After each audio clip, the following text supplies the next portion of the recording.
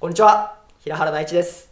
藤文人監督と一緒に作品出演させていただいてるんですけれども今日はお知らせがあります、えー上映会2024年3月16日決定しました。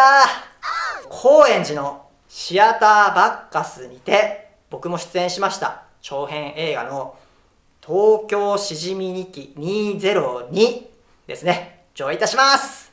えーそして短編の江戸女子侍なども一緒に上映しますので、ぜひ皆さん会場に来て僕もいますので見に来て会いに来てください。よろしくお願いします。